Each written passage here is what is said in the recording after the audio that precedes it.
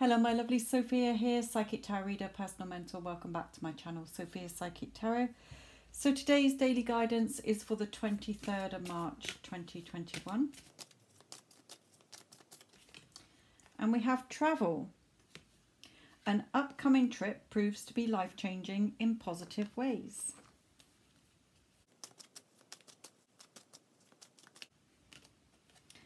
Um, but we do have the disappointment cards, but it can be that don't pin yourself down with negative thoughts about it.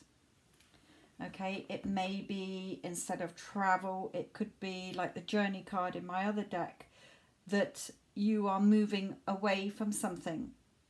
Perhaps that's either that you felt disappointed from or let down by, but again, um, something that you are either literally traveling, okay, or moving away from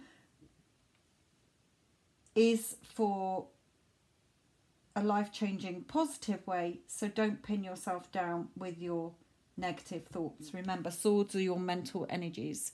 So you're just pinning yourself to the floor with your doubts and insecurities. Let's bring in one of these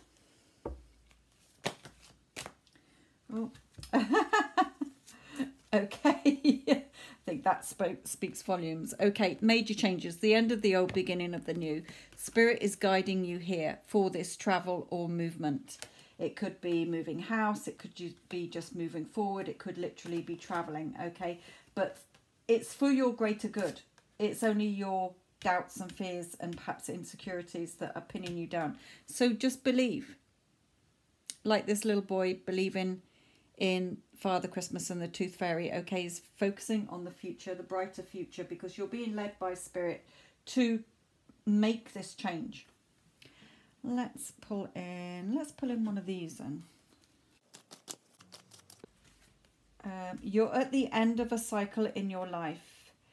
Call upon your angels to comfort you and to guide you to your next step. Happiness awaits you now. So there's definitely movement twice here. Either travel, house move or moving on from a situation, even if it's just mentally, to stop thinking the worst, negative Nancy pants on. Okay, there's major changes, the end of the old, beginning of the new. Spirit is guiding you here. And again, here, you're at the end of a cycle in your life. Call upon your angels to comfort you, to guide you to your next step. Happiness awaits you now. So it's for your greater good. To make your decision, ask yourself which way brings me closer to my divine purpose, which way takes me away from it. So, are you going to be a positive Pam or a negative Nancy? Archangel Michael. So, yeah, you need to decide to be happy. Thank you for helping me open my heart to happiness, joy, and bliss. I am now willing to see all the goodness in your, my life. Have the confidence. Okay, help me realize that I am one with all that is divine wisdom, strength, love, creativity, abundance, and health. Allow me to feel confident and peaceful about myself in all ways. So, big changes for some of you coming in. Don't be scared.